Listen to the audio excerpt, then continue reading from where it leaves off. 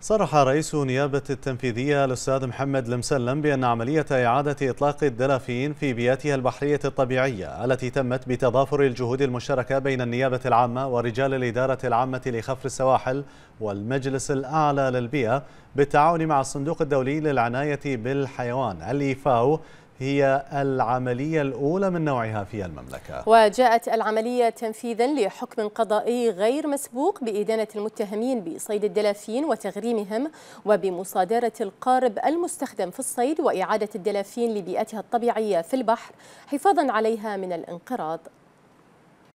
تولي مملكة البحرين اهتماما كبيرا بالحياة البحرية والفطرية والتنوع الإحيائي في إقليم المملكة. وذلك بتضافر الجهود المشتركة بين أجهزة الدولة المعنية كالنيابة العامة ووزارة الداخلية والمجلس الأعلى للبيئة من خلال تطبيق التشريعات والقوانين الحديثة والمتطورة المعنية بحماية البيئة. ففي تاريخ الحادي عشر من أبريل 2022 تم ضبط متهمين باصطياد الدلافين المحظور صيدها بالمياه الإقليمية لمملكة البحرين من قبل التحريات خفر السواحل وبعد المراقبات البحرية والبرية وإختار النيابة العامة لاتخاذ إجراءاتها بشأن المتهمين والمضبوطات.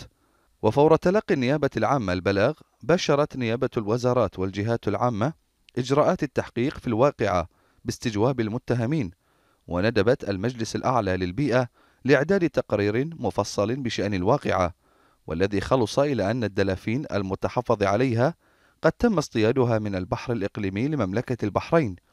وتم تقديم المتهمين إلى المحاكمة الجنائية وقد قضي استئنافيا بإدانتهم لارتكابهم جرائم ممارسة الصيد التجاري دون ترخيص وصيد الدلافين المحظور صيدها وعدة جرائم بهذا الشأن. ولضمان سلامة الدلافين المتحفظ عليها تم تأهيلها وإعادة إطلاقها للبيئة البحرية كونها تعتبر من الدلافين الحدباء المهددة بالانقراض وقد تم تنفيذ العملية من قبل الجهات المعنية بدعم من الصندوق الدولي للرفق بالحيوان الإيفاو وعيادة تيلز البيطرية.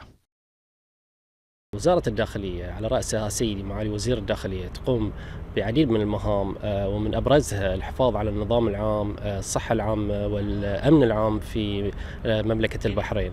فضلا عن ذلك تقوم بمعاونة السلطات التشريعية الأخرى في تأدية وظائفها حسب أحكام القانون.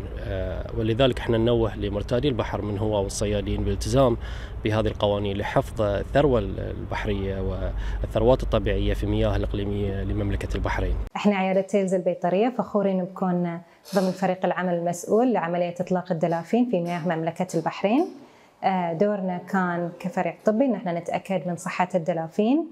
آه، ابتدينا بتحاليل الدم وال ultrasound استمرينا في متابعة حالتهم خلال عملية النقل وال tagging وعملية إطلاقهم في مياه مملكة البحرين. آه، صراحة نشيد بجهود آه، المجلس الأعلى للبيئة لهذا العمل الجبار و IFAW في مساعدتهم ووزاره الداخلية وبالأخص خفر السواحل والدفاع المدني.